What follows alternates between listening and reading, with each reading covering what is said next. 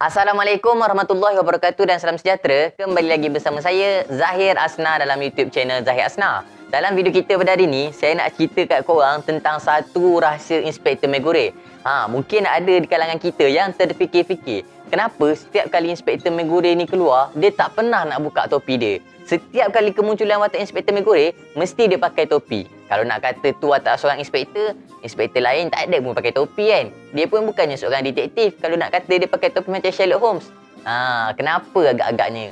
Rupa-rupanya ada satu rahsia dan kejadian besar di sebalik sesuatu sebab kenapa Inspektor Megure tak pernah buka dia punya topi tu. So kalau korang nak tahu, make sure korang tengok video ni sehingga ke hujungnya. Tapi sebelum tu, kepada korang yang baru pertama kali sampai ke YouTube channel Zahid Asna, jangan lupa untuk menekan butang subscribe di bawah. Dan kepada korang yang dah lama subscribe, terima kasih saya ucapkan. Teruskan like dan share video daripada YouTube channel Zahid Asna dekat kawan-kawan korang semua supaya YouTube channel Zahid Asna dapat mencapai 15k subscribers dalam masa yang terdekat. InsyaAllah. Amin. So, tanpa melengahkan masa lagi, mari kita mulakan video kita pada hari ini.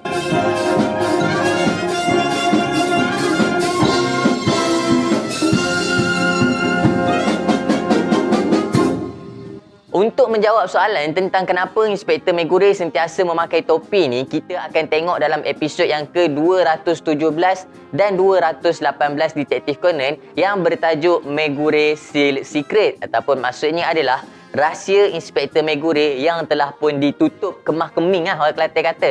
Makna seal tu betul-betul ditutup, dah tak nak buka punya dah. Yang mana episod kali ini menceritakan tentang kes yang mana perempuan-perempuan yang memakai pakaian berfashion telah pun dipukul oleh seseorang yang tidak diketahui tapi menyebabkan kecederaan yang amat parah kepada mangsa. Bahkan, kes yang paling latest menyebabkan seorang perempuan telah pun meninggal dunia di tempat kejadian. So, untuk mencari siapakah sebenarnya pelaku kepada kes memukul mangsa-mangsa wanita berfashion ni, maka Inspektor Satu telah pun bertindak sebagai umpan. Ha, Inspektor Satu menyamar, dia pakai fashion cantik-cantik semua kan. Ha, yang menyebabkan si Kogoro Maori ni, bila tengok Inspektor Satu menyamar tu, dia cuba untuk menegur si Inspektor Satu yang menyamar ni. Padahal dia nak bagi pen yang terjatuh je kan. Tapi bila dia pegang inspektor satu tu, inspektor satu terus jatuhkan dia. Ha. So, daripada situ, maka Kogoro Maori dengan Conan Edogawa pun terlibat juga dengan kes ni. Diorang pun tolonglah nak selesaikan kes ni kan. Dan dalam masa untuk menyelesaikan kes tu, dalam perjalanan tu, ada beberapa kejadian yang kita dapat tengok menyebabkan Inspektor Megure ni sangat-sangat triggered. Ha, dia sangat-sangat terkejut dan dia seakan-akan terkenang satu kejadian lama.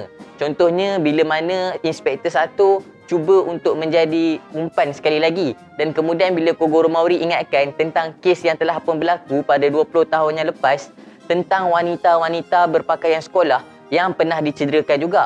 So bila Kogoro Maori mention pasal benda tu, kita boleh tengok ah muka Inspektor Megure terus automatik berubah seakan-akan ada satu rahsia besar yang dia simpan.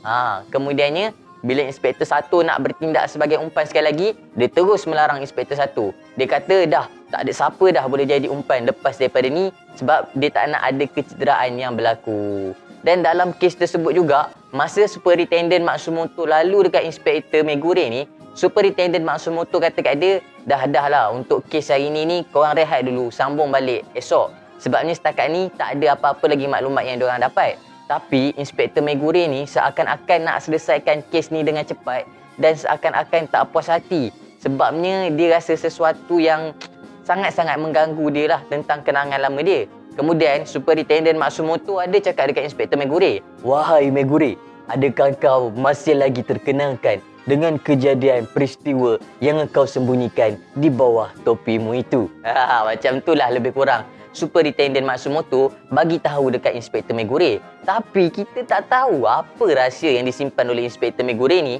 sehinggalah lah apabila dalam episod yang ke-218 Sonoko yang memakai pakaian berfashion yang sebenarnya dia nak simpan barang dia dalam kereta Kogoro Maori ni. So bila dia bawa-bawa kunci tu, si penjenayah ni telah pun salah sangka. Dia ingatkan Sonoko ni adalah seorang wanita berfashion yang bawa kereta menyebabkan Sonoko ni telah menjadi mangsa kepada penjenayah tu. So kemudian lepas letak barang dalam kereta Kogoro Maori tu, dia nak pergi toilet. Masa nak pergi toilet ni lah, Sonoko telah pun dikejar oleh penjenayah ni dan cuba untuk memukul Sonoko. Tapi malangnya Sonoko telah pun ternampak muka penjenayah tersebut menyebabkan penjenayah tu telah merubah fikiran dia daripada sekadar nak memukul Sonoko terus kepada nak membunuh Sonoko. So bila Sonoko lari punya lari punya lari maka Inspektor Megure lah akhirnya yang telah menyelamatkan Sonoko dan apabila Inspektor Megure nak tahan Sonoko daripada kena pukul dengan batang uh, baseball tu tiba-tiba kepala Inspektor Megure telah pun dipukul oleh bat baseball tersebut menyebabkan mengalir darah keluar daripada topi Inspektor Megure. Ha, bila benda tu dah berlaku, Inspektor Megure pun teruslah cakap dekat penjenayah tu. Kau rasa puas hati ke kalau kau boleh sakitkan orang macam ni kan? Kau rasa puas hati ke pukul orang macam ni? Dan kemudian penjenayah tu pun mengaku kesalahan dia dan penjenayah tu ditangkap. Lepas tu, semua yang ada kat situ, Detektif Takagi, Inspektor Sato, Conan, Ran Mauri dan juga Kogoro Mauri risau dengan keadaan kepala Inspektor Megure yang berdarah tu. Tapi Inspektor Megure kata, alah kepala dia bukannya sakit sangat pun. Ini hanyalah parut lama yang terbuka kembali. Maknanya, di bawah topi Inspektor Megure tu ada satu kesan parut daripada luka yang agak parah. Dan pada penghujung episod yang ke-218 lah, baru kita dapat tahu apabila Superintendent Matsumoto menceritakan kepada Kogoro Mauri tentang kisah silam si Inspektor Megure ni. Yang mana pada 20 tahun yang lepas, ha, masa tu si Nichikudo tak lahir pun lagi. Masa tu Inspektor Megure pun baru je seorang rukis dalam Tokyo Metropolitan Police Department ni. So, pada 20 tahun yang lepas, ada kes yang hampir-hampir sama yang telah berlaku yang mana perempuan-perempuan yang berpakaian sekolah yang telah pun dijadikan target untuk dibuli dan dibelasah. Bila benda ni berlaku, maka ada seorang budak perempuan ni, dia nak bertindak sebagai umpan. Dia nak mencari siapa sebenarnya orang jahat yang telah menyakitkan kawan-kawan dia ni.